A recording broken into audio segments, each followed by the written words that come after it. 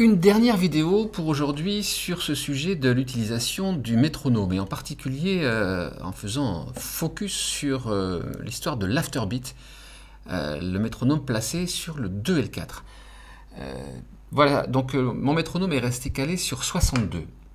Donc une des difficultés quand on va placer le métronome sur l'afterbeat, c'est d'être capable de démarrer, c'est-à-dire de bien placer d'emblée le métronome sur les bons temps. Alors j'ai une petite astuce comme ça qui consiste à faire un léger mouvement, de la tête et de baisser très légèrement le menton quand j'entends le métronome donner son, son son, bip. Ce qui fait que je sais que du coup, c'est en relevant la tête que j'ai le 1. 1. Donc je ressemble un petit peu effectivement au, au petit chien qu'on voit à l'arrière des voitures en faisant ça, mais j'essaie de le faire discrètement, bien sûr. Donc par exemple, 1, 2, 1, 2, 3, 4. Et après, on est parti. Puisque la difficulté, c'est de démarrer. 1, 2, et 1, 2, 3, 4. Encore une fois. Je vous laisse démarrer, tenez. 1, 2, et 1, 2, 3, 4. Vous voyez que ce mouvement de la tête, en fait, peut aider énormément. Alors, euh, quels sont les types de phrases musicales qu'on va avoir intérêt à travailler euh, sur le 2L4, euh, c'est essentiellement celles qui tournent autour des musiques swingées.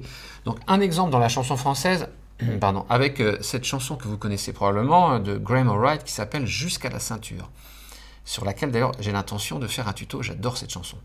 Donc ça commence par une descente de contrebasse qui est vraiment typique d'un début swing, Do, Si bémol, La bémol, Sol.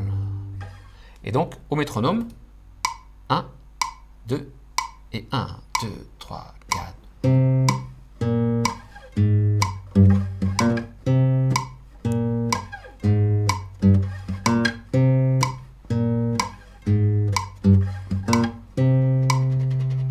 Voilà, qu'on va justement faire le plus longtemps qu'on le souhaitera, enfin surtout aussi longtemps qu'on le souhaitera pour être sûr d'être bien au fond du temps. Et on remarquera que d'ailleurs, quand on joue guitare solo, on a tendance à reposer la main un petit peu comme une percussion pour marquer Une, une deuxième fois. 1, 2, et 1, 2, 3, 4.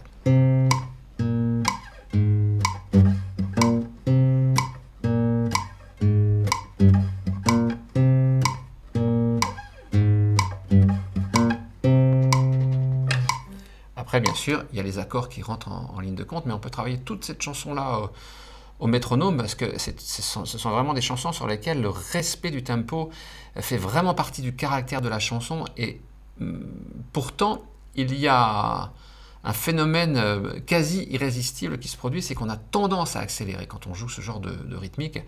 Et évidemment, cette tendance, il faut y résister, puisque le maintien du tempo, au fond du temps, comme on dit, c'est vraiment euh, constitutif, on va dire, de l'efficacité de, la chanson.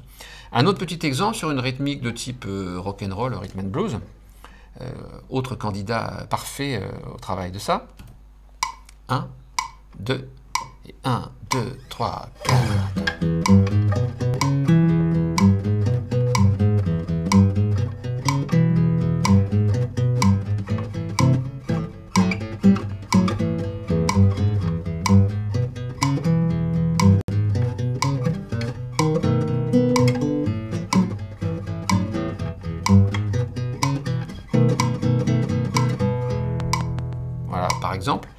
Pour améliorer un petit peu son efficacité sur ce genre de rythmique, euh, on peut le travailler au métronome sur le 2L4. C'est beaucoup plus euh, formateur puisque euh, on entend la, caisse claire du batteur avec lequel on jouera peut-être ultérieurement. Voilà, j'espère que ce petit plan vous a aidé. Donc, moi, je l'utilise énormément le, métronome sur le 2L4.